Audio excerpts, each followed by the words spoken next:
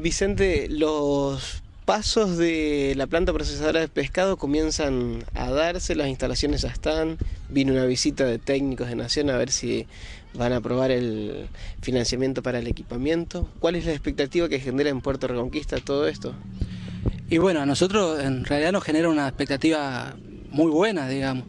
Eh, esto es una cosa que algo que lo veníamos soñando hace rato y, y aparentemente ahora se va a dar. Ya tenemos la visita técnica y, ojalá que lo puedan aprobar para que, para que empecemos a, trabajar, digamos.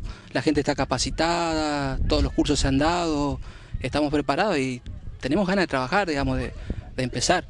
Eh, hemos esperado un tiempo, pero creemos que ahora las cosas se van a ir, se van a ir dando, digamos. Estamos preparados para, para empezar a trabajar. Esto, esto es una buena iniciativa porque nos permite eh, tener el trabajo acá en el puerto sin tener que irnos a la ciudad o trasladarnos eh, a otras provincias buscando trabajo, eh, así que está más, más que bueno.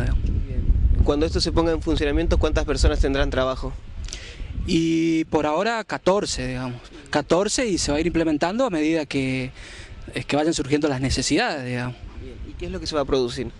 Y se va a empezar produciendo escabeche, paté y ahumado, tres productos que son muy buenos, ya inclusive la gente de Reconquista y Avellaneda ya, ya ha probado un poco estos productos y, y saben que es de buena calidad. También escuchábamos que en una primera instancia va a haber fileteado.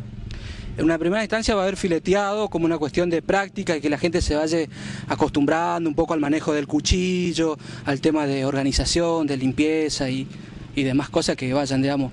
Y después sí, arrancar ya con, con la producción de, de los tres productos.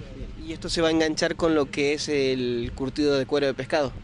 Claro, el curtido, o sea, la idea es ir rescatando el cuero que de acá para eh, llevar a la cooperativa, que otro grupo de gente que, que también va a trabajar en, el, en dar valor al, al, producto de la pesca.